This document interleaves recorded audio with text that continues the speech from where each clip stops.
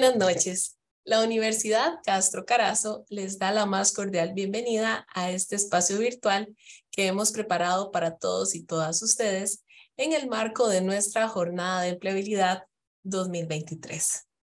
Mi nombre es Eugenia Bustamante y tendré el gusto de poderles acompañar en esta actividad. Muy amablemente queremos solicitarles que al inicio de este espacio mantengamos las cámaras y micrófonos apagados. Esto para no saturar la transmisión.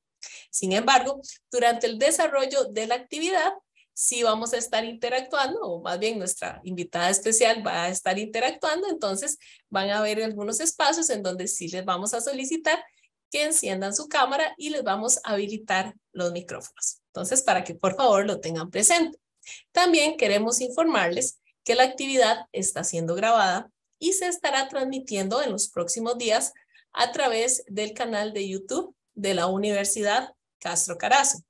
Oportunamente les estaremos informando cuando ya se encuentre habilitado.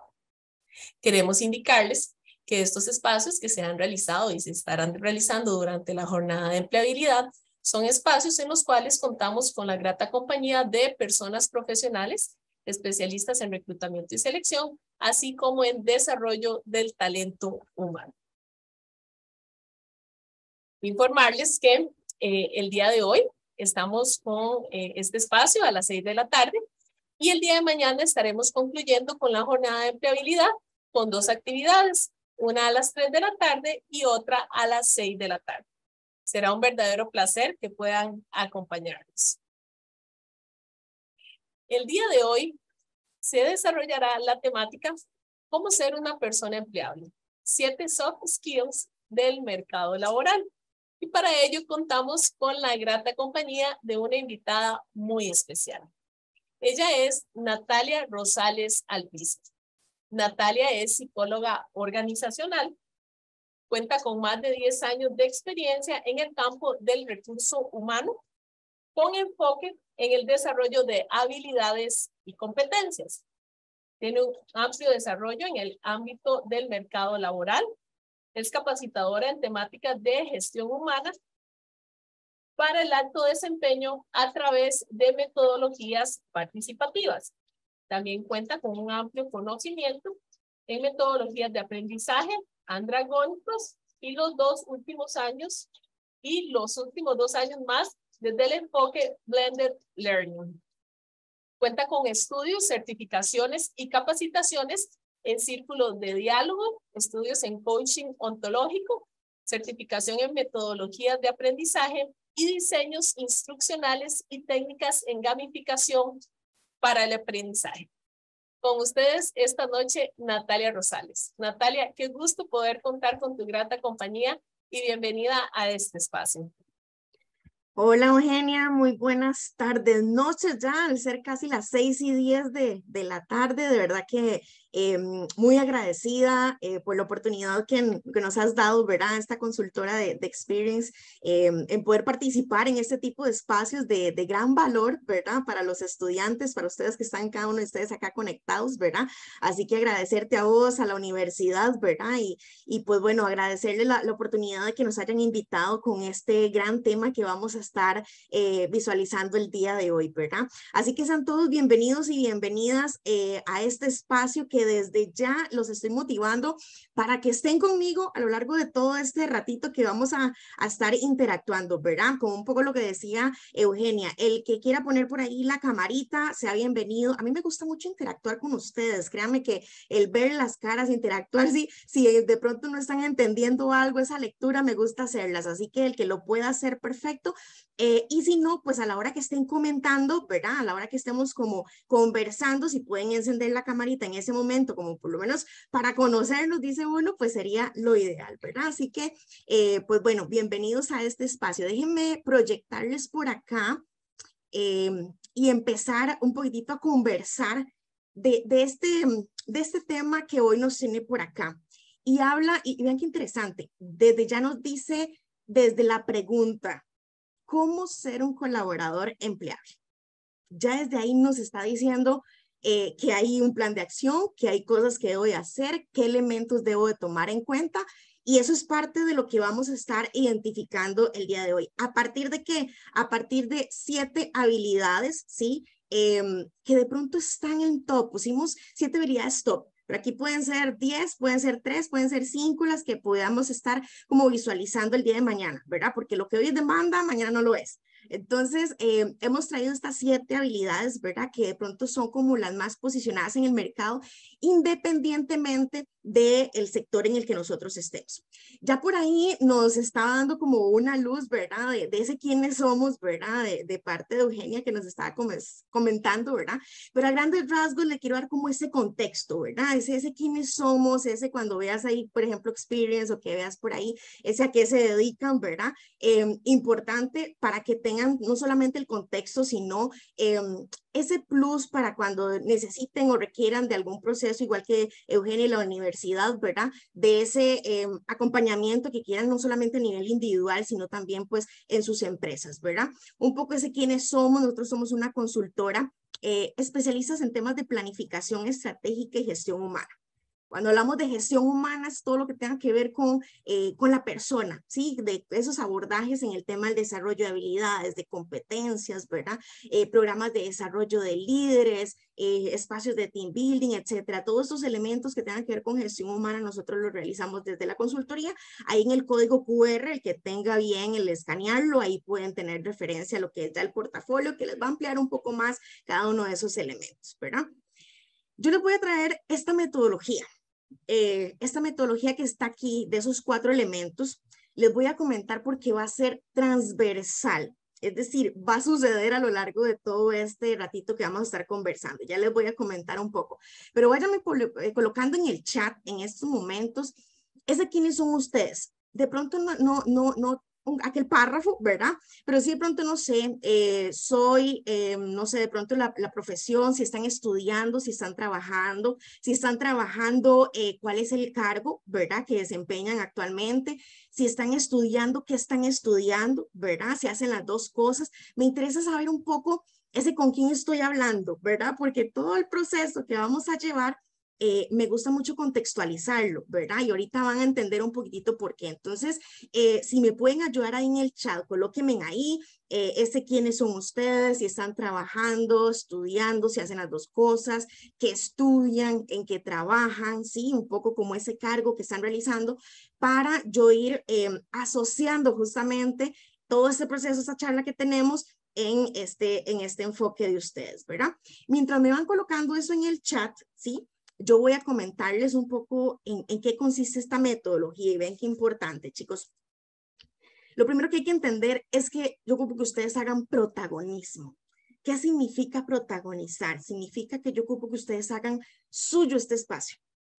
Muchas veces nos pasa, ¿verdad? Que estamos en un proceso, en una charla, en una capacitación, tenemos anotaciones o vemos después el video, o, ¿verdad? Pero nunca lo hicimos nuestro. ¿Qué significa eso? Que yo quisiera que ustedes hagan los aportes, que en cualquier momento me levanten mano o me, o me coloquen en el chat, aunque sea un aporte, no necesariamente ocupa una consulta, no necesariamente ocupan hacer una pregunta, sino, uy, mira, eso que está diciendo Natalia me hace demasiado sentido, eso yo lo viví, eso yo lo, yo lo he experimentado, eso me llama la atención porque tal y tal cosa. Hagan esos aportes, porque la medida en la que ustedes lo hacen, significa que ese va a ser eh, su propio espacio conversen conmigo alrededor del chat, se ocupan levantar la manita, hagan este espacio junto conmigo, eh, algo bastante eh, de aporte valioso, ¿verdad? Entre todos, en al menos hasta yo también termino aprendiendo con ustedes, ¿verdad? Entonces, protagonizar uno de los principales elementos y que yo los invito a que lo compartan conmigo a lo largo de todo este espacio. ¿Qué nos va a servir protagonizarlo? Hacer un espacio de transferencia. ¿Qué significa transferencia? Que todo eso que estemos hablando ahorita me va a ser útil es decir, en mi metro cuadrado, en mi vida real, en mi espacio, en mi contexto, en mi realidad, eso me sirve para algo. Si yo no le encuentro alguna utilidad, créanme que la transferencia nada me sirve. Y se me quedó en apuntes, se quedó en la libreta, se quedó en el video. Yo ocupo hacer transferencia. Entonces, la invitación es, rétense a que todo lo que estemos hablando en este ratito sea, jalen algo útil empiecen a sumar. Para eso ocupamos estar prestando bastante atención, ¿verdad? Así que ese es otro reto. Pero la idea es llévense algo útil, ¿sí? De lo que, lo que vayamos a hablar ahorita, como ese momento, wow, descubrí algo, ¿ok? porque eso también nos va a permitir a un tercer elemento que es zona de desarrollo. ¿Qué significa la zona de desarrollo? Ahorita estamos en un punto A, con cierto conocimiento, de pronto tenemos una noción de qué ser empleable, no lo sabemos del todo. Al finalizar esta charla, ocupamos llevarnos algo, un plan de acción, un crecimiento. Entonces yo ocupo subir una gradita más, ¿sí? Tenemos información nueva. Entonces esa es una zona de desarrollo. Queremos realmente que se lleven ese algo más que andamos buscando. Y la indagación apreciativa como último elemento es cuestionense. Si ustedes no se cuestionan o no tenemos el hábito de cuestionarnos las cosas, no vamos a hacer crecimiento porque estamos desde una zona de confort. Pero si a lo largo de esta charla ustedes se cuestionan y dicen, esto porque yo no lo he hecho, esto porque yo no lo he aportado, esto yo no lo sabía, ¿qué pasa que yo no estoy accionando? ¿Qué pasa que yo no lo estoy em, adquiriendo más seriamente en mi proceso? ¿Qué sé yo? Empiecen a cuestionarse las cosas ustedes mismos. ¿Sí? Para que eso les permita hacer un tema de crecimiento, ¿ok? Entonces, invitadísimos a que a lo largo de, de, este espacio esos cuatro elementos estén vigentes. Y para asegurarme que van a estar, vamos a hacer un ejercicio que ustedes mismos desde sus casas van a poder estar realizando. Gracias a los que me han estado escribiendo por ahí en el chat. Tenemos por ahí a Denis Fallas. Dice que actualmente está desempleado, pero es bachiller en contabilidad y se desempeña más en el área de tesorería y finanzas. Súper bien. Es un enfoque muy bueno en, este que vamos a estar eh, visualizando en las siete habilidades, ¿verdad?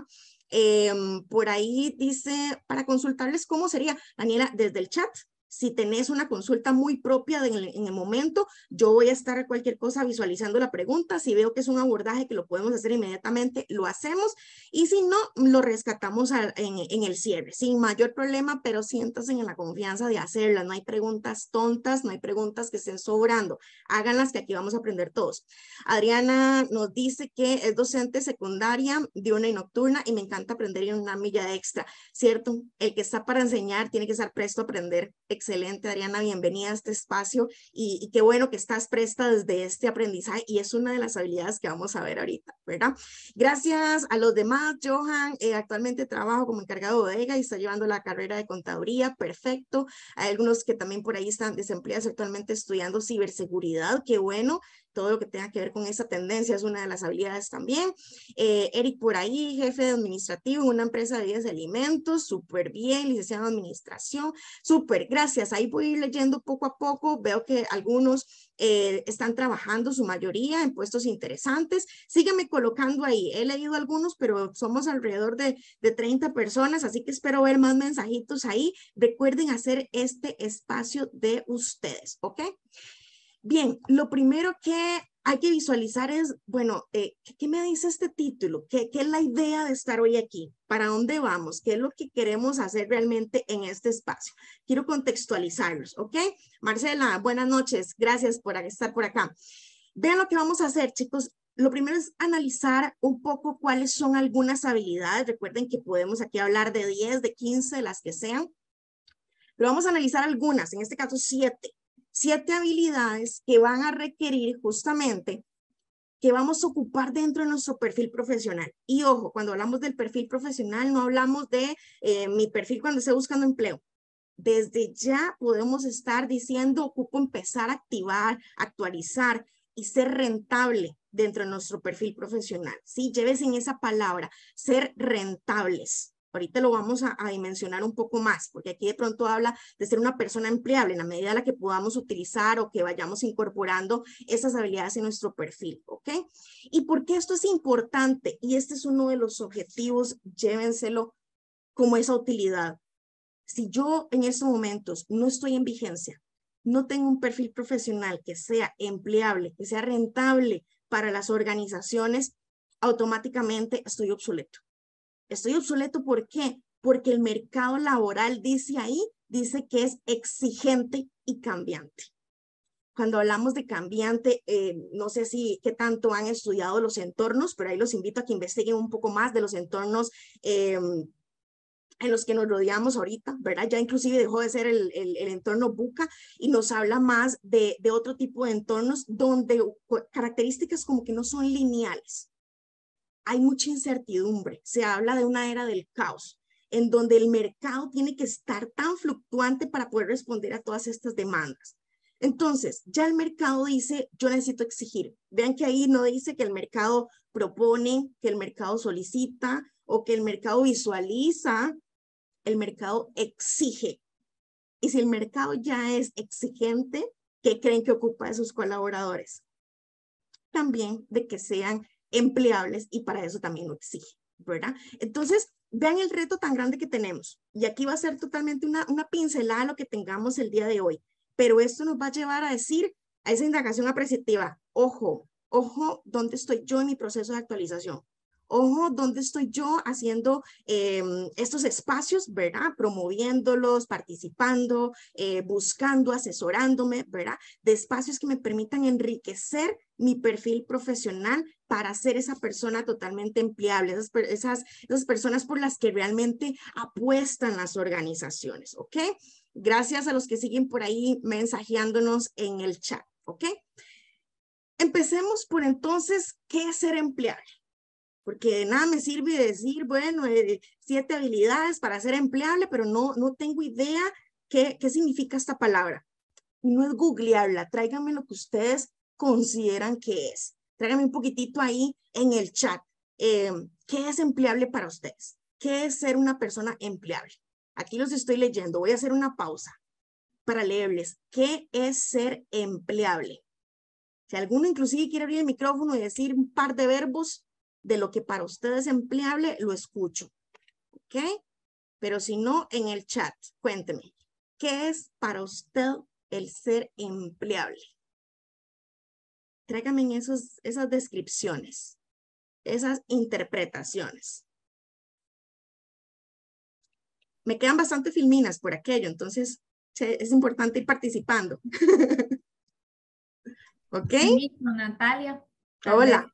Hola, tal vez recordarle a las personas participantes que si desean abrir micrófono, en la barra inferior van a encontrar eh, un icono de tres puntitos que dice más, ahí van a encontrar una acción que se llama reacciones. Entonces, si quieren abrir micrófono, ahí nada más en la parte de reacciones levantan la manita y con mucho gusto les, les aperturamos. Súper bien, súper bien, gracias. Y si no en el chat, tráiganme ahí. Me, es importante partir de, una, de un concepto propio, de un concepto de ustedes. Sí, recuerden que busco hacer esa, esa transferencia desde el conocimiento que ustedes traen, ¿verdad? Acuérdense que aquí todos no estamos empezando de cero, el aprendizaje siempre tiene como, como esa, esa base, ¿ok? Dice Jefferson, em, ser empleable de pronto para él es eh, adecuado para un puesto, muy bien, adecuado para un puesto. Eh, persona dice, eh, Cristian es una persona que se adapta a la labor requerida súper bien. ¿ok? Un enfoque de adaptabilidad. Eh, José David dice ser de utilidad para la organización, excelente, y, creo que por ahí va, creo que por ahí va y lo estás asociando muy bien con la palabra rentabilidad, excelente. Eh, gracias. Em, personas con características ideales para desarrollar un trabajo. Eh, sí, de, pronto lo asocias mucho con el ser competente un, colaborador empleable es, es, competente. Muchas gracias porque estoy viendo que por ahí lo estás asociando con eso. Ser apto para el puesto bajo el perfil que se requiere. Excelente. Entonces, ser empleable es un poco esa, esa capacidad de responder a lo que el mercado, la organización o la compañía está necesitando, ¿ok? Entonces, ven qué interesante, les traigo por acá este concepto de empleabilidad, ¿ok?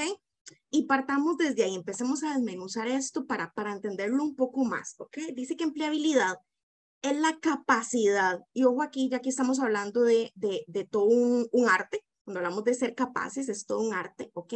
Capacidad de continuar desarrollando habilidades para mantenerse competitivo en el mercado laboral. Puedo hacer una pausa ahí. Es la capacidad de continuar desarrollando habilidades para mantenerse competitivo en el mercado laboral. Aquí hay dos verbos que ocupamos rescatar. Continuar y mantenerse. Automáticamente estos dos verbos lo que me dicen es que es un tema cíclico, que nunca acaba, que yo ocupo estar siempre en esa continuidad, es algo permanente. Así que ojo que no es participé en aquel curso el semestre pasado, eh, sí, vieras que este, ya me certifiqué en tal cosa, ya con eso lo, empleabilidad o ser empleable significa que yo estoy a la vanguardia, estoy en tendencia, me mantengo en la competencia, ¿ok? Entonces, vean que ya son verbos que ya nos dicen automáticamente que tenemos que estar anuentes y que nuestras habilidades o las habilidades que estemos adquiriendo o desarrollando en esos momentos, ocupamos que sean habilidades adaptables. Creo que por ahí este, lo decía uno de los compañeros, ¿sí? Que sean adaptables a nuestro contexto, a nuestra realidad. Porque lo que hoy puede ser que sea una habilidad y una fortaleza, mañana en otro contexto no lo es. Y entonces yo aquí necesito tener esa capacidad, ¿sí? De continuar desarrollando algunas otras que me permitan a mí seguir en la carrera, seguir siendo vigente, seguir siendo una persona eh, que realmente voten por mí, opten por mí. ¿En qué momentos? Bueno, justamente cuando hay recortes de personal, hablemoslo así. Cuando hay reestructuras en las organizaciones. ¿Qué es lo que queremos de nosotros? Apuesten por nosotros.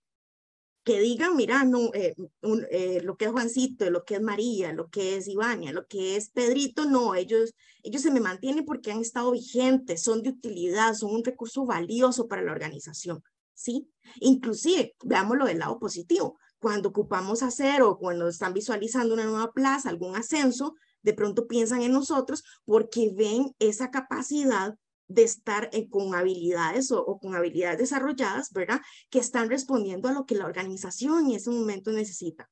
Pero ¿qué ocupamos nosotros? No solamente desarrollarlas, no solamente llevé el curso, no solamente lo, las tengo, sino que yo ocupo ser eh, demostradas, dice ahí. Yo ocupo demostrar cómo mi labor y mis, mis competencias aporta los resultados de la empresa. Y aquí pudiéramos hablar de cómo yo empiezo a gestionar mi trabajo y eso es todo otro tema súper interesante de cómo empiezo yo a impactar desde lo que yo hago en la organización. Pero entonces cuando lo asociamos a la empleabilidad, ¿sí? Es en qué momento yo estoy lo suficientemente en tendencia, fogueado, entendiendo el contexto. Y cuando hablamos aquí de, entender el, contexto y el mercado, a ver, no ocupo saber de todo un poco. Necesito entender en qué está la tendencia de pronto en mi sector, en la parte contable, cuáles son las principales plataformas, software, eh, no sé, líneas, procesos que están en tendencia, ¿sí? Si estoy en la parte de, mercado, de, de que creo que por ahí había una también. Bueno, ¿cuáles son esas tendencias en las que están ahorita en vigencia? Y empiezo a moverme sobre eso, ¿verdad? Entonces, ahí es donde yo empiezo a identificarme como un colaborador altamente empleable, de ese valor que yo le doy, ¿sí? Porque vean que ha dejado de ser exclusivo para los perfiles directivos, porque antes decíamos, sí, claro, es que el pensamiento estratégico es para el que tenga la gerencia general o el que tenga tal, em, tal cargo. Ya no.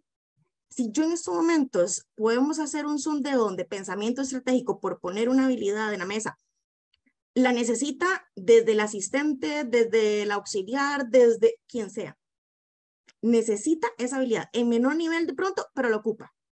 Y las organizaciones hoy por hoy las están pidiendo.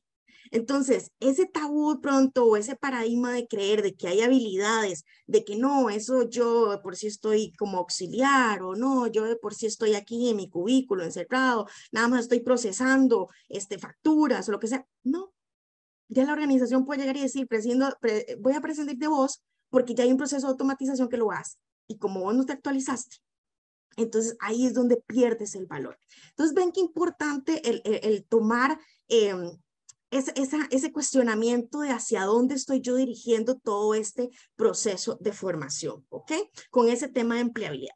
Así que vamos a hacer este ejercicio porque lo que quiero es como que me vayan acompañando en estas siete habilidades, ¿ok? Que las vamos a ir como desglosando, hablando, no solamente de la habilidad como tal, desde el concepto, sino más bien qué está pasando esa habilidad en el mercado, Y cómo esa habilidad me hace a mí ser empleable, ¿ok? ¿Para qué? Para que ustedes puedan colocar, no sé, si en una hojita, si en el celular, si en lo que tengan a mano, escriban la habilidad Em, anoten qué descubren, qué descubren de lo que estemos conversando en esa habilidad, ¿ok? Así como, como eso que les está haciendo sentido, uy, eso no lo sabía, quiero rescatar eso, eh, lo voy a aportar, ¿ok? ¿Y a qué se pueden comprometer? ¿A qué se pueden comprometer con esa habilidad en específico, con eso que están descubriendo en ese momento, ¿ok? Me interesa muchísimo porque vamos a tener un espacio en el cierre para poder eh, escucharlos un poco esos grandes descubrimientos que están haciendo de pronto en las siete habilidades o en alguna muy puntual que les haya hecho eh, mayor sentido, ¿verdad? Em, ¿Qué es lo que quiero ahora en adelante? Convérseme en el chat, si algo les hace em, algún sentido, les hace ruido, algún aporte, alguna consulta, háganmela, ¿verdad? Justamente de la habilidad en la que estemos abordando para ir em, dándole ese, flujo, ¿verdad? De, interacción que es lo que, lo que queremos en este protagonismo, ¿ok? Vámonos a la primera, chicos, si les parece. Bien, qué interesante. Nos habla de eh, esta primera habilidad que es la autoconfianza y el autoconocimiento. Y yo les voy a decir algo con esta, con esta habilidad. Es una habilidad que no suele eh, colocarse en los currículums, ¿verdad? No es que pongo en el currículum o en el perfil profesional, tengo autoconfianza, autoconocimiento, el que lo pone eh, excelente, ¿verdad? Pero no suele colocarse. Y más aún, si escarbamos un poco más, es una habilidad que pocas veces ejercitamos.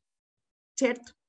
Pocas veces hacemos un alto en la vida o en algún periodo de nuestra vida em, y nos ponemos a reflexionar cuáles son mis fortalezas, cuáles son esas áreas de mejora, ¿sí? ¿Cuáles son esos límites con los que yo estoy teniendo? ¿Con qué me estoy identificando? Y más aún, menos lo hacemos si no estamos buscando trabajo. Por lo general, cuando estamos buscando trabajo, para los que están desempleados, solemos actualizar el currículum y bueno, eh, a la hora de la entrevista sé que de pronto me lo van a preguntar, entonces me afilo. Pero vean qué interesante, porque eh, a veces nos afilamos para ese proceso de entrevista en identificar esas fortalezas o esas áreas de mejora y lo hacemos en automático o googleado. Sí, a veces agarramos el celular y empezamos a buscar y ponemos eh, áreas de mejora eh, mejor recibidos por los entrevistadores, ¿cierto? Ay, dice que es el perfeccionista y este es el discurso con el que puedes defender el área de mejora. Y nos vamos sin, sin realmente validar, soy eso, soy eso, tengo, tengo eso como un área de mejora. O cuáles son mis habilidades o, esas, o esos puntos fuertes. De pronto nada más me preparo con tres y si me piden cinco, hasta ahí llegué. Porque no tengo ese mapa mío propio, personal. Entonces, por eso es todo un reto, porque aquí el hecho es, con el momento que yo me vuelvo em, con ese conocimiento básico mío, es quien soy, es quien me representa, es quien me dice a mí eh, que, quién quiero ser inclusive. Eso me da autoconfianza. Sí, entonces, vean lo importante que a partir de esta base, para yo poder ser un colaborador empleable, yo tengo que saber quién soy, cuáles son mis metas, mis propósitos de vida, saber dónde me ocupo potencializar. Si estoy mapeando esas, esas áreas de mejora, automáticamente no lo veo desde la ignorancia, lo veo desde oportunidades de crecimiento, de aprender. Alguien por ahí lo decía una compañera, sí, yo estoy presta al aprendizaje. Por supuesto que ocupo estar presto al aprendizaje. Eso me lleva a identificar áreas de mejora. ¿En dónde ocupo mejorar? Dentro de mi área, fuera de mi área, en la parte laboral, en la parte eh, personal, como persona, ¿dónde ocupo empezar a foguearme? ¿Sí? Inclusive reconocer nuestros límites. Y vean qué interesante con eso de, los límites, porque es, es reconocer lo que no sé, es reconocer de lo que soy capaz. Y a veces no tenerlos en el mapa o en nuestro radar hace que nosotros adquiramos compromisos de los que no tenemos la capacidad. Entonces, ojo que eso ya nos empieza a tachar como una persona empleable, porque entonces estoy dando, eh, a ver, me estoy comprometiendo con cosas dentro de la organización que de pronto no tengo la capacidad y dejo de ser empleable.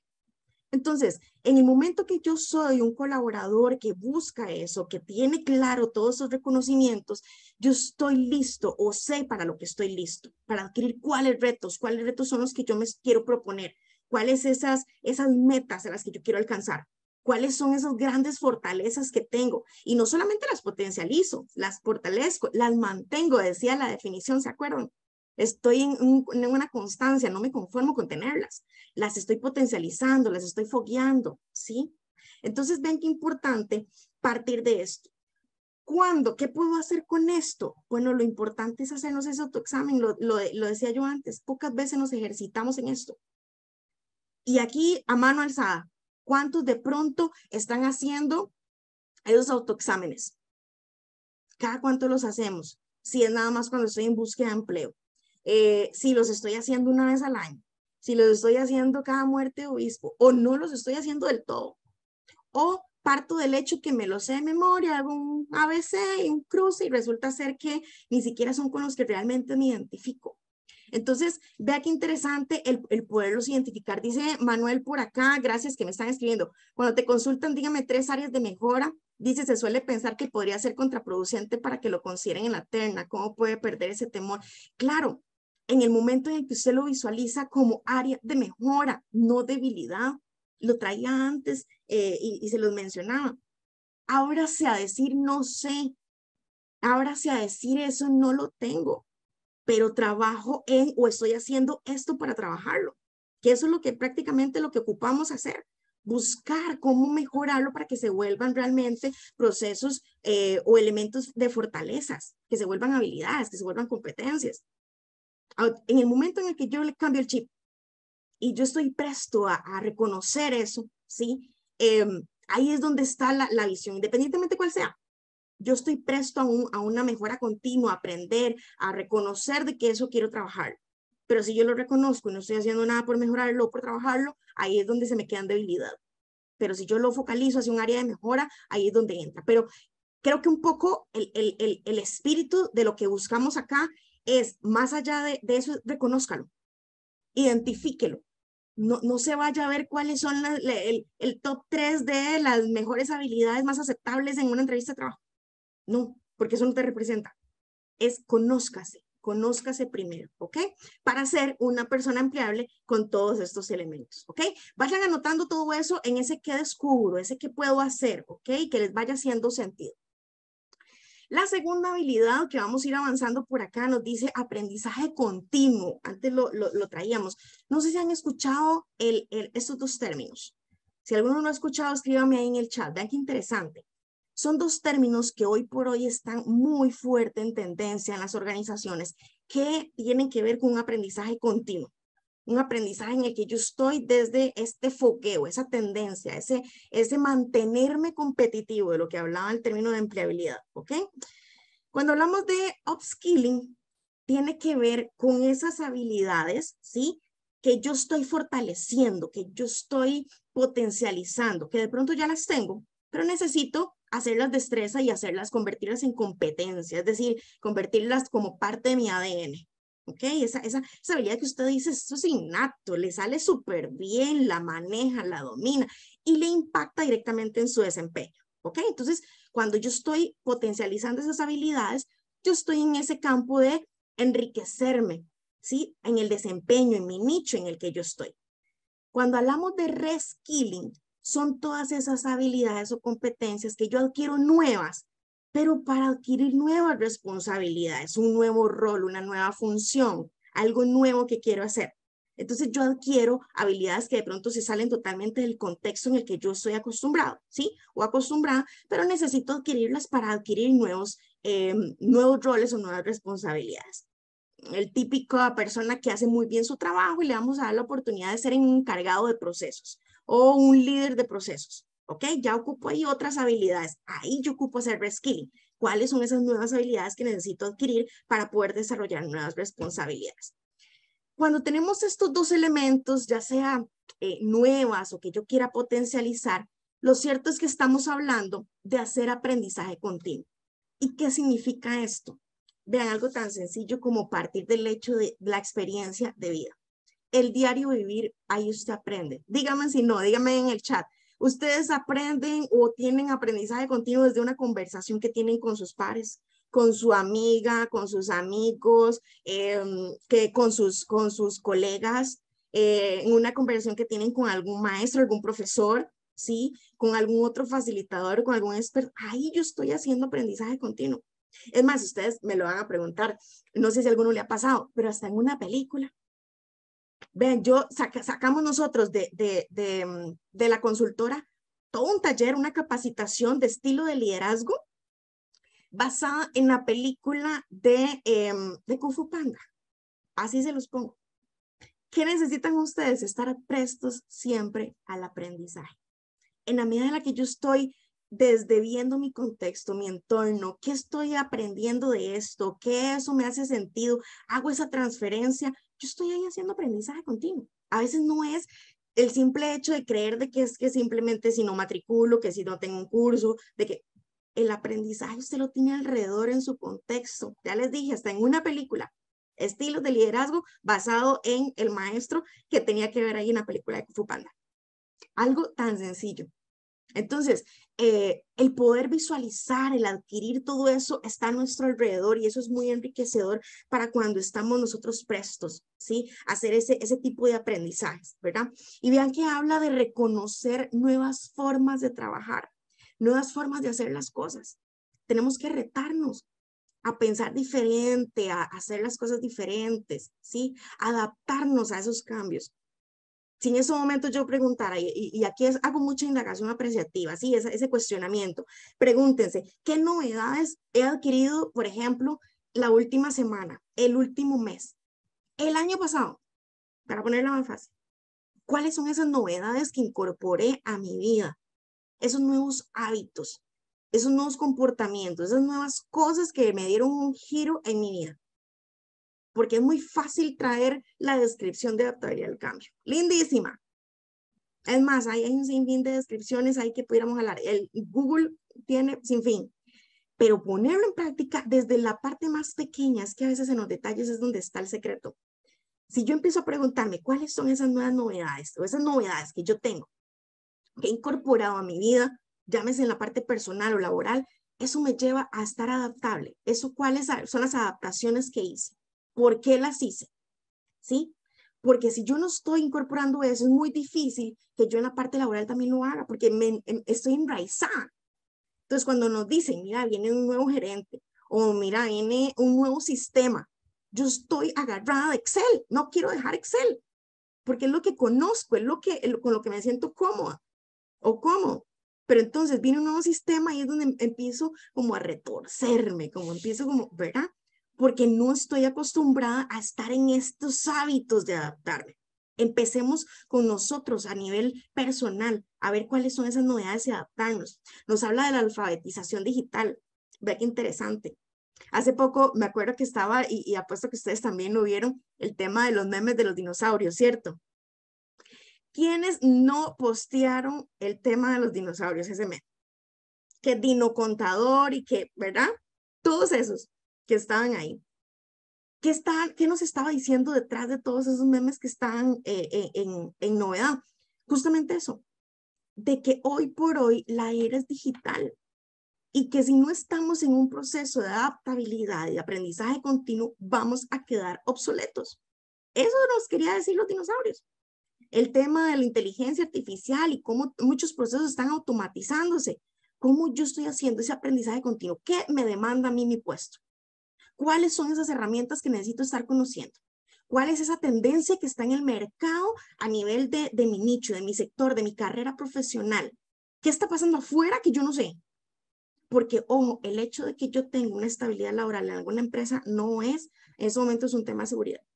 Lo decíamos antes, yo no estoy, yo no estoy eh, como competitivo y no estoy diciendo a la organización, soy de valor para usted, automáticamente no lo piensa. Entonces, pongámonos en ese reto personal de estar en un aprendizaje continuo, ¿sí? Para que todos esos elementos realmente sean enriquecedores en ese perfil profesional, en ese valor agregado que le queremos dar a las organizaciones. Recuerden ir haciendo el ejercicio, chicos, porque los quiero escuchar un poquitito en, el cierre. Si hay alguno que le está haciendo algo sentido, tráiganmelo en el chat. Me interesa muchísimo esos aportes que quieran dar. En algún momento los traigo a la luz, pero aprendamos juntos. Quiero, quiero, quiero saber un poco qué están pensando con todo esto, ¿ok? La habilidad número tres nos habla de comunicación. Vean qué interesante el tema de, la comunicación como toda una habilidad universal. ¿Y por qué una, una habilidad universal? Bueno, porque para todo ocupamos comunicarnos. Para todo. Y por eso somos seres lingüísticos, dice ahí. ¿Qué significa eso? Que nosotros estamos en una constante transmisión de mensajes. Lo que me dicen, lo que digo, lo que pienso. Cuando estoy inclusive pensando, estoy haciendo transmisión de mensajes. Estoy hablando conmigo mismo. Inclusive llego hasta magníficas conclusiones. Los que hablan solo saben a qué me refiero. Entonces, estamos en una constante comunicación, una constante transmisión de mensajes, ¿ok? Porque somos seres lingüísticos. Entonces, si estamos acostumbrados a comunicar, ¿qué pasa con esta habilidad? Y ustedes no me dejan mentir. No hay empresa que no haya llevado un taller de comunicación efectiva o asertiva, o comunicación, como sea el título, a la compañía a las organizaciones, para sus colaboradores. ¿Cierto? No hay empresa que no haya llevado un taller de esos para foguear a sus colaboradores en temas de comunicación.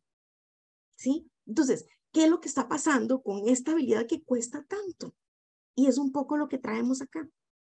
No suele ser asertiva. No suele ser una comunicación empática.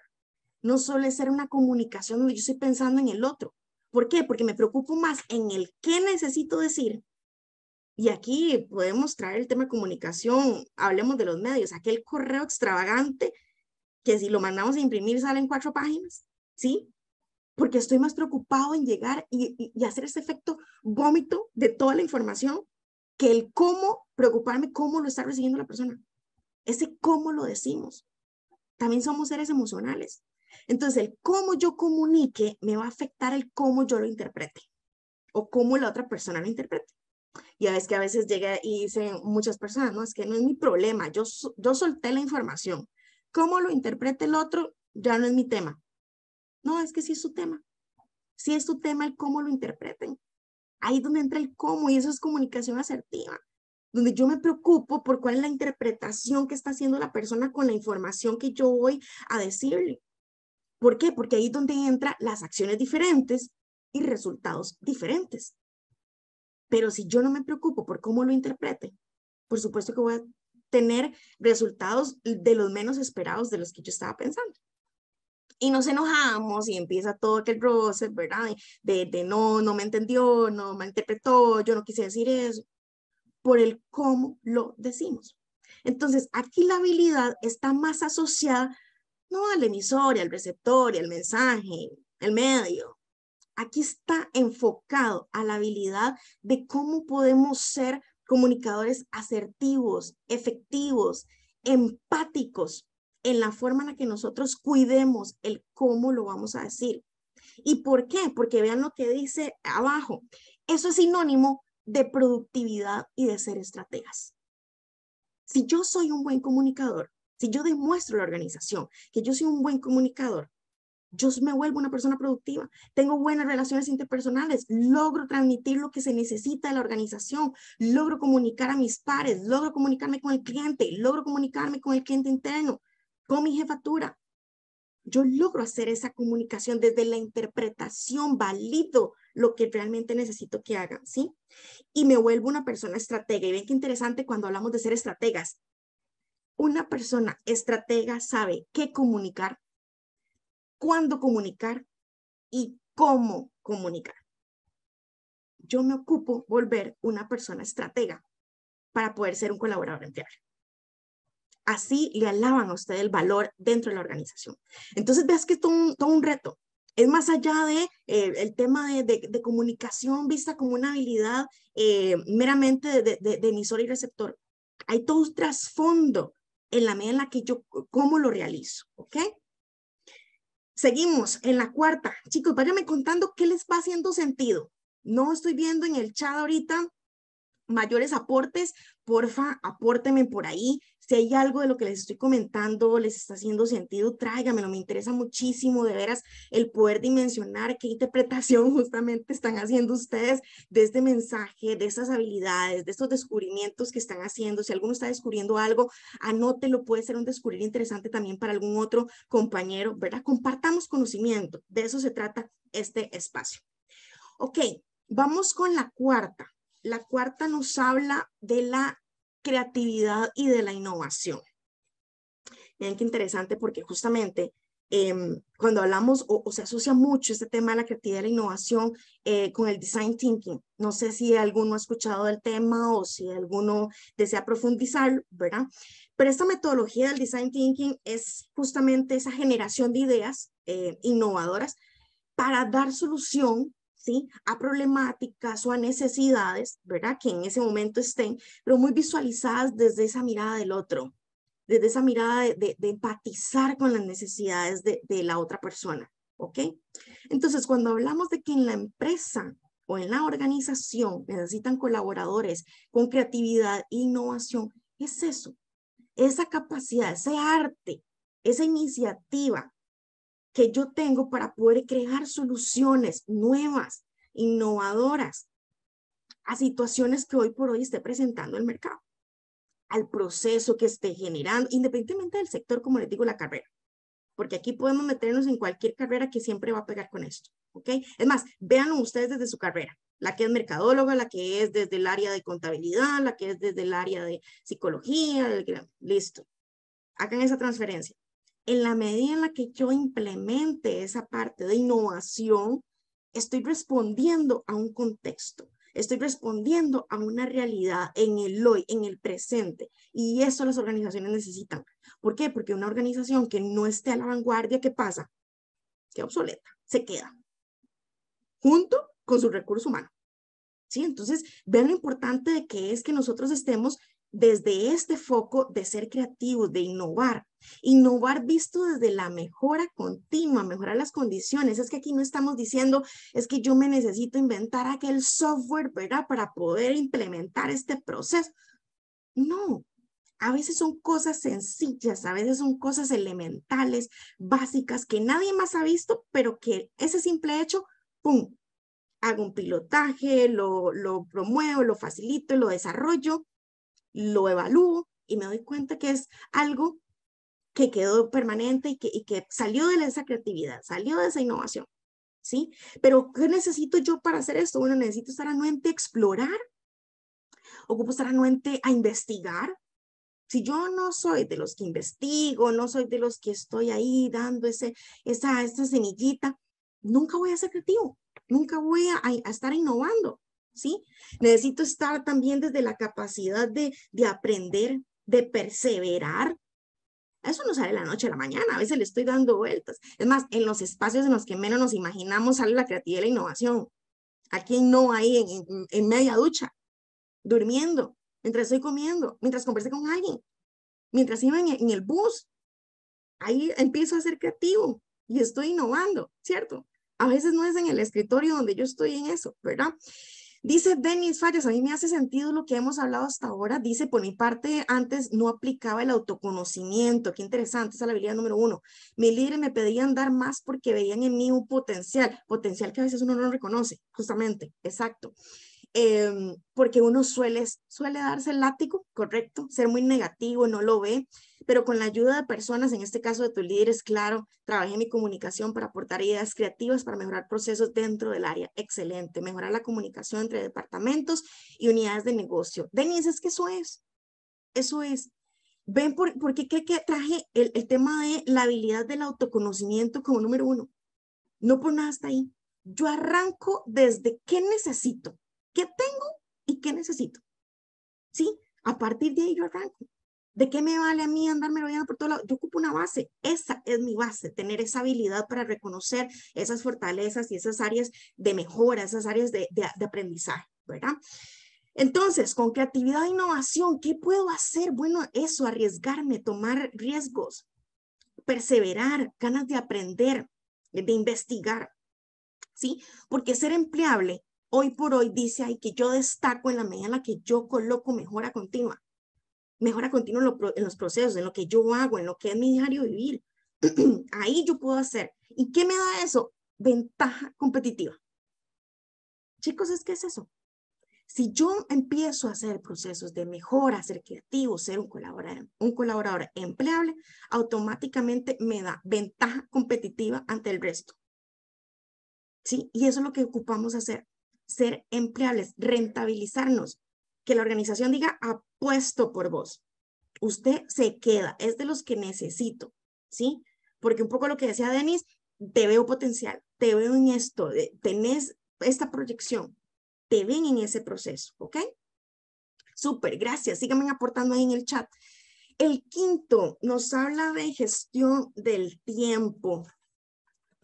a, a, mí en lo personal me encanta este tema. Hay, todo un taller y un curso en este porque eh, se han visto cosas, se han visto cosas en, el concepto que tenemos de cómo gesto el tiempo, ¿verdad? Cada uno tiene su metodología y su forma de organizarse, pero de veras que lo que les voy a contar es basado en hechos reales. Hay personas que tienen su agenda y hacen aquel checklist. Uno, dos, tres, nada más, puntito, tarea, puntito, tarea. Llenamos aquella hoja. Ese es del día uno del mes. De esas 10, 15 tareas, en el mejor de los casos, a hacer cinco. Arrastro el resto y los coloco al siguiente día. Pero el siguiente día ya también tengo cosas que hacer de prioridad. Entonces las sigo copiando ahí y vuelvo a poner flechas y eh, numerología. Y entonces tengo ese checklist. O peor aún, tengo el checklist en la agenda y voy a extraer en post-it aquí en, el escritorio, en la pizarra, los que reurgen. Y eso está haciendo su gestión del tiempo. Y eso está haciendo su forma de planificarse y organizarse. Chicos, y eso es a veces de pronto nuestra realidad. Y no estoy hablando aquí de la metodología, porque el post y la pizarra, el, el checklist, puede ser la agenda, su metodología. El tema es qué estoy entendiendo yo por gestar mi tiempo, que es toda una habilidad para yo planificarme y organizarme. Pero qué interesante, y, y, aquí es donde viene ese, ojalá que hagan un descubrir. Es más allá del checklist, es más allá de lo tengo en Outlook o lo tengo en mi agenda digital, es planificarme, entender qué voy a hacer, en el corto, mediano y largo plazo. Yo veo el proceso, yo veo el mapa. ¿Sí? Eso es planificarme. Yo estoy dimensionando mi semana, yo estoy dimensionando mi mes. Yo sé dónde tengo que estar en la tercera semana del, del mes. Yo sé dónde tengo que estar o con qué resultados tengo que estar en la cuarta. ¿Sí? Yo lo tengo que visionar. A eso es planificarse. ¿Qué voy a hacer? No el día a día, no la tarea en el día. Yo ocupo dimensionar, porque inclusive en la medida en la que yo me planifico, dejo de ver tareas operativas y empiezo a hacer planificación estratégica, que es cuáles son esas tareas de impacto en mi puesto. Si yo no estoy mapeando tareas de impacto o resultados de impacto, automáticamente voy a estar planificando contestar el teléfono, voy a estar planificando o agendando eh, la hora en la que leo correos. Eso es tarea operativa. Que no digo que no tenga que estar, si es de impacto, es la pregunta que voy a hacerme. Porque esas son las que yo tengo que traer en el mapa, porque es por lo que me van a pedir resultados. La organización ocupa llegar y decir, no cuántos correos contesté. De pronto, si es bueno, dependiendo del nicho, ¿verdad? Pero va a depender mucho de eso, de, de, qué tanto yo estoy dimensionando, cuáles son esos, esas tareas, esas acciones de impacto. Las planifico, las visualizo y reconozco en qué etapa las necesito estar, en qué etapa del proceso están, ¿ok? inclusive aflojo. Si hay algo que yo tengo que hacer en la tercera semana, no la estoy arrastrando de la semana uno. Si yo sé que ya está planificada para hacer en la semana eh, del 15, me quito carga. Pero si yo estoy arrastrando tarea tras día, tras día, tras día, por supuesto que tengo un mono todos los días porque sigo arrastrándola. No le pongo un tema de organizarse, porque entonces aquí pasamos al tema de la organización. ¿Cuándo lo hago? Y ojo chicos, que cuando hablamos de cuándo hacerlo, va más allá de lo coloco en un día. Cuando lo hago significa que yo le pongo duración inclusive. Esas son las famosas reuniones eternas. Es que no pude terminar mis tareas porque resulta ser que me llamaron a una reunión. Sí, pero ¿de cuánto era la reunión? Estaba prevista para una hora, estaba prevista para dos horas. Hay reuniones que le agendan la hora de inicio y es indefinida. Entonces, claro que yo no estoy respetando mis tiempos, no estoy respetando mi agenda, no estoy respetando mi planificación. Ser estratega significa que yo le doy respeto también a esa agenda, a ese proceso.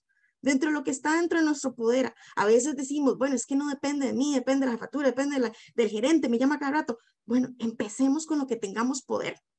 Para lo que no tengamos poder, ya lo conversaremos en, justamente en el taller de gestión del tiempo. Por ahí Eugenia se la voy a codiar para que traigamos ese taller, esa, esa charla. Pero en lo que tengamos poder, empecemos a respetarlo. ¿sí? Dice Manuel, para mí la comunicación asertiva es una habilidad que ahora eh, estoy fuera de una empresa, me doy cuenta que lo puedo hacer mejor. Tenía un puesto muy importante para la organización, súper bien, y además los resultados eran acorde a los objetivos, pero no supe comunicar, vean lo importante. Ese comunicar va desde válido esa interpretación de que están haciendo los demás. Me confié y seguí la línea del jefe anterior como dicen algunos amigos, faltó vender el puesto. Totalmente. Gracias por compartir. Entonces, gestión del tiempo, respeto a esa organización. De nada me vale planificarme y organizarme si no respeto los tiempos. Necesito plazos para cada una de las tareas. Voy a una reunión, ¿cuál es el plazo? Si voy a dedicarme a este proyecto, ¿cuánto tiempo le voy a destinar? Voy a destinarme a hacer lectura de correos, que no pasa nada si eso lo quieres agendar y organizar. Perfecto. ¿Cuánto tiempo le voy a destinar? Si no le pongo duración, yo puedo durar ahí toda la mañana en algo que me pude haber socado, haber durado 15 minutos o haber durado una hora. ¿Sí? Pongámosle plazos a eso. ¿Por qué es eso importante? Al ser empleable, porque nos volvemos rentables. Dominamos el tiempo. No decimos no me alcanzó el tiempo, porque lo que menos quiere escuchar el jefe y lo que menos quiere escuchar la, organización es no tuve tiempo para eso, o es que fue su culpa, o es que me implementa. No, ¿Cómo usted se está haciendo responsable de su tiempo? ¿Ok? Con un norte claro, objetivos, metas y los plazos claros en los que yo estoy dominando el proceso. ¿Ok? Súper. Vayan haciendo ahí el ejercicio. Vamos con la sexta. Ya estamos contra el reloj un poquitito. Voy a acelerar para escucharlos. El sexto me habla del liderazgo. Chicos, el liderazgo visto más allá, no como eh, simplemente para las jefaturas, o para aquellos quienes tienen un equipo. No, hoy por hoy yo puedo ser empleable en la medida que yo ejerzo esos valores de liderazgo para motivar, para inspirar, doy apoyo a mis pares. Yo no necesito estar al frente de un equipo. Otro paradigma de liderazgo es que el simple hecho de tener el norte, entonces ahora sí todo el mundo sígame. O yo soy el líder por el simple hecho de que todo, porque yo soy el que conozco el norte, conozco el mapa, sé para dónde dirigirme. No, hoy por hoy tenemos equipos sumamente estratégicos, equipos que conocen el norte. Pero ¿qué pasa si no tengo una persona que me inspira, que me motiva? Yo no lo sigo. Entonces ahí es donde vemos las jefaturas. Sí, puede conocer muy el norte, pero no me inspira. No tengo por qué decirlo, no lo veo como mi líder. Entonces aquí es un poco ese reto de seamos nosotros también líderes, acompañando, motivando, veamos cuáles son esas cualidades. El liderazgo es como una bolsita, tiene varias habilidades adentro investiguemos cómo poder nosotros desarrollar ese liderazgo y puede ser que ya no tengamos esas habilidades. Y entonces, ¿cómo potencializarlas? Porque eso va a ser un foco de vista para la organización. Van a saber que pueden contar con usted porque tiene habilidades de liderazgo. Entonces, se vuelve importante independientemente de la posición en el organigrama en el que yo esté. Yo puedo ser un auxiliar, puedo ser un asistente, puedo ser la limpieza, no importa en qué nivel de organigrama esté o qué tanta responsabilidad tenga en una organización, yo puedo ejercer liderazgo.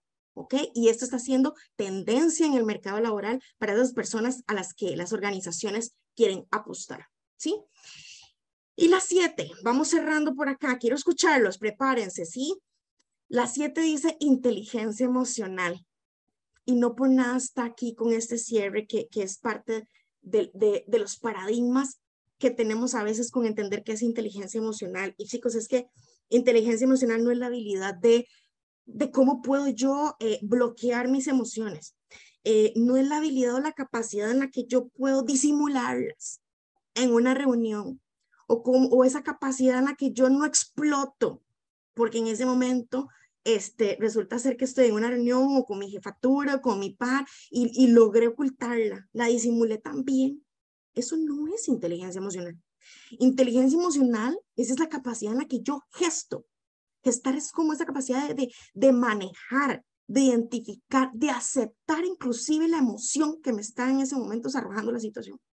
No es ocultarla. No es eh, que yo voy a explotar.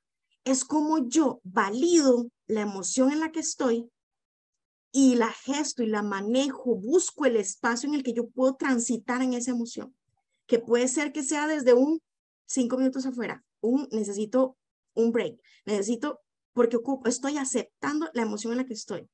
Pero más allá de la emoción en la que estoy, de cómo puedo manejar mis emociones, es esa en la que yo empatizo con las emociones de los demás. Y eso va mucho también a reconocer y validación del otro. Yo reconozco que la otra persona está desde una emoción triste, desde una emoción de ira, desde una emoción de miedo, se la reconozco, no se la invalido. No, eso no es nada. ¿Cómo te vas a poner a llorar por eso? No, eso no es nada. Ya, bájale, bájale a la cólera. Eso no es nada. Yo estoy invalidando la emoción del otro. Eso no es tener inteligencia emocional. Y solemos decirlo. Y solemos callarlo. Y solemos decirle a la persona, eso no es nada. Entonces, eso busca el hecho de ser inteligente. ¿Por qué? Porque en la medida en la que yo tenga esa sinergia, no solamente de manejar las mías, sino también el poder validarla de los demás, me hace reducir la dificultad del trabajo con otros. Tengo una mejor relación con los demás, porque te entiendo, porque te comprendo, porque te valido. Entonces, eso en el trabajo de equipos, que hoy por hoy es también una de las habilidades en tendencia, el trabajo colaborativo, yo reconozco la, emoción en la que están mis compañeros, mis pares, para poder respetar y trabajar en, continuo, ¿sí? Hacia, hacia los resultados, hacia esos objetivos que estoy planteándome con el equipo. Pero si yo en esos momentos no lo domino, no domino una mía, ni mucho menos reconozco la de los demás, por supuesto que no voy a poder hacer ese trabajo en equipo y colaborativo que hoy por hoy las organizaciones necesitan y quieren, ¿ok? Siete habilidades top de las cuales hemos navegado, ¿sí? En cada una de esas hemos visto comportamientos, hemos visto la importancia, ese descubrir mitos, ¿verdad? Paradigmas que de pronto teníamos. Así que quiero escucharlos un poco, ¿cómo les fue? ¿Qué descubrieron? Por ahí ya leí algunos, Em, pero de pronto quiero, quiero escuchar a alguien, que un parcito que me levante la mano, porfa. Eh, los que quieran el resto me lo pueden hacer ahí desde el chat, pero porfa, quiero escuchar un par de personas que, que me digan qué descubrieron, qué les hizo sentido, inclusive qué, qué están visionando que pueden hacer o a qué se están comprometiendo desde lo simple, pero ante todo, ¿qué descubrieron? Ayúdenme ahí con un par de micrófonos que quieran hacerlo y que me quieran comentar eso. ¿Qué descubrieron? De pronto, ¿cuál habilidad les hizo más sentido de esas siete? Que de pronto por ahí fue su momento wow, que dijeron, eso es nuevo para mí, o, o eso me está haciendo sentido, estoy haciendo transferencia, ¿sí? Cuénteme, Vamos, chicos, eso es protagonismo, eso es protagonizar. Un micrófono, creo que sí pueden tenerla habilitado. El que quiera opinar, inclusive con, con manita, no lo esté logrando, me avisa en el chat. ¿Ok? Vamos a ver. ¿Cómo vamos con esas manitas? Creo que por aquí tengo, cuénteme. Jacqueline, Jefferson, por ahí tengo a Jessica, Johan, Alicet, Marcela, Miriam, ¿qué pasó chicos? Tobías, Byron, o ninguno descubrió nada. Hola Natalia. Dime, Ivania. Mientras los chicos se animan, eh, si gustas, yo te quiero hacer un comentario. Claro que sí bueno, yo estoy apoyando hoy la, charla, pero una también está eh, absorbiendo esta información, ¿verdad? Porque también, pues, es de mucha utilidad para el desarrollo profesional. Yo escuchándote, de pronto, eh, mm, las habilidades que propones, eh, las había escuchado, como que uno las encuentra dentro de las habilidades top, ¿verdad? Cuando, cuando está buscando empleo o está ajustando su currículum, las puede leer pero de pronto escuchante las escucho, las escucho como nuevas desde otra perspectiva, que es lo que me ha parecido más interesante, o sea, desde el punto de cómo yo no solo las elijo, sino que reflexiono acerca de mis habilidades, de mis herramientas, de mis áreas de mejora y las enfoco, porque claro, desde ahí es más fácil para mí explicar por qué esta es una de mis habilidades.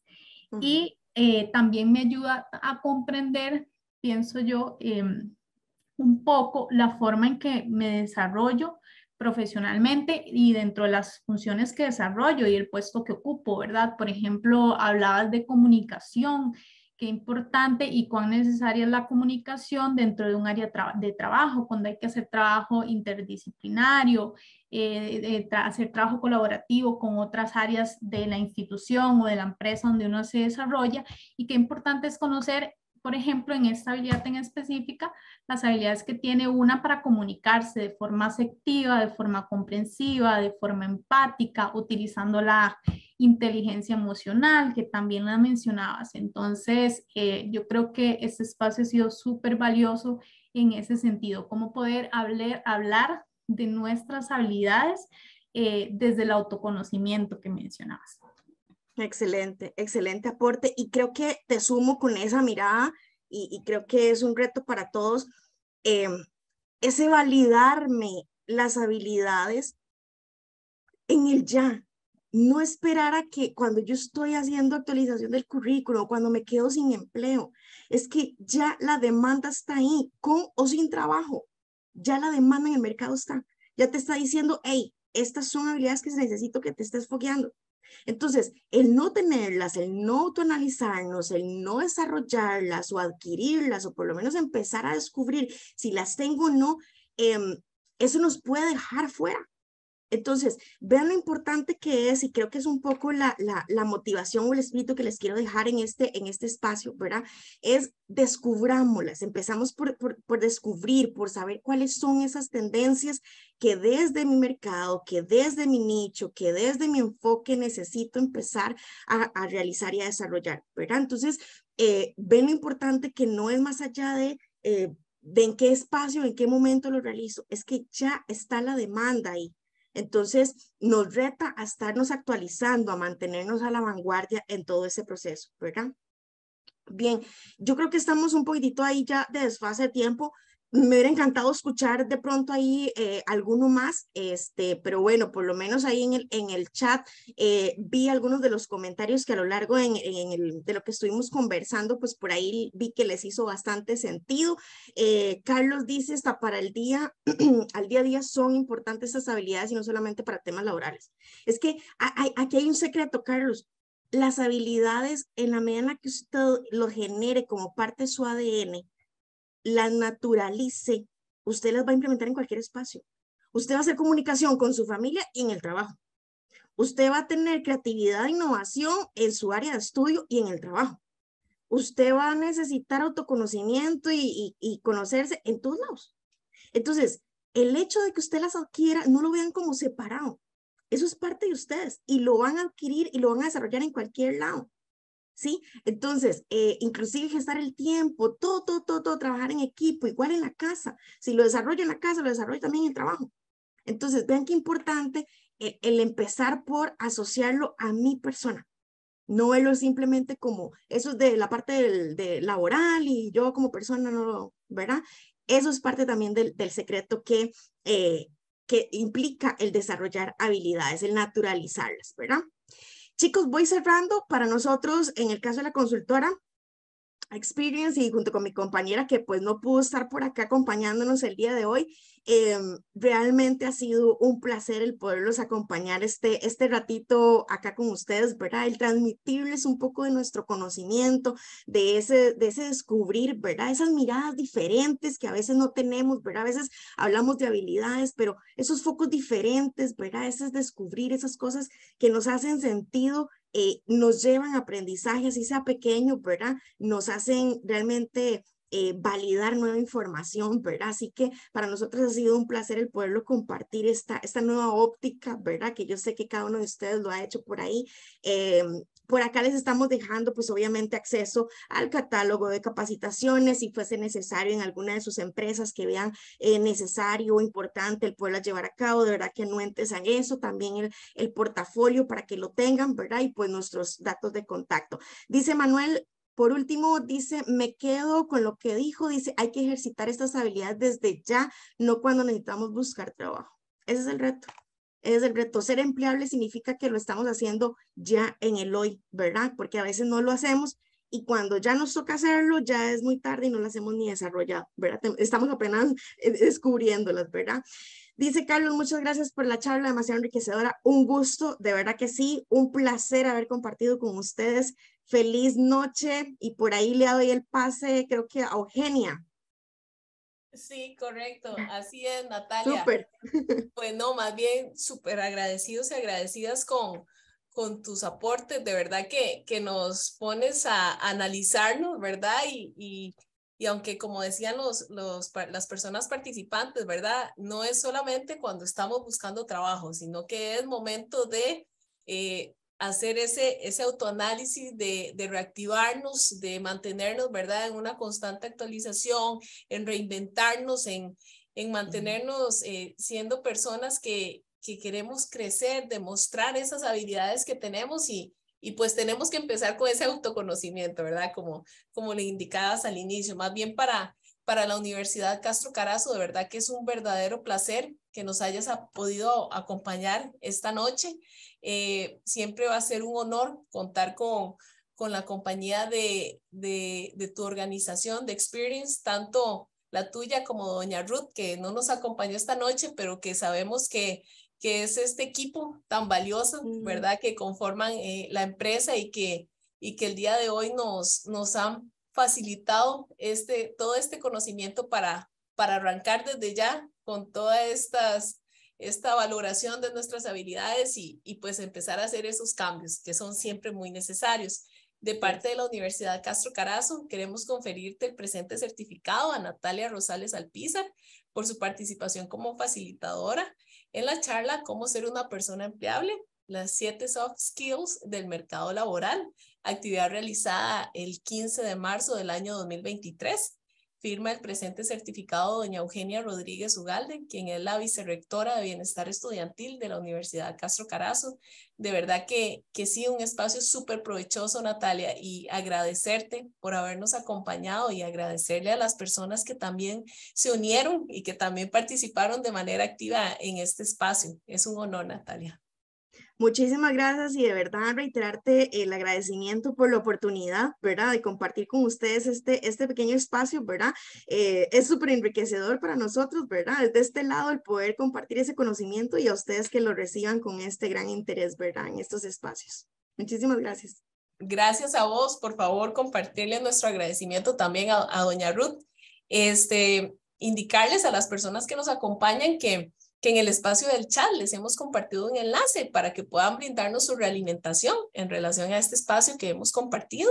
También invitarles para que nos acompañen el día de mañana en nuestro último día de la jornada de actualización o la jornada de empleabilidad. Eh, tenemos dos actividades a las 3 de la tarde y a las 6 de la tarde. Será un placer que nos puedan acompañar y eh, que puedan seguir robusteciendo todo este aprendizaje en temáticas de empleabilidad. Para todos y todas ustedes, muy buenas noches. Gracias por su compañía y esperamos poderles ver el día de mañana. Que descansen.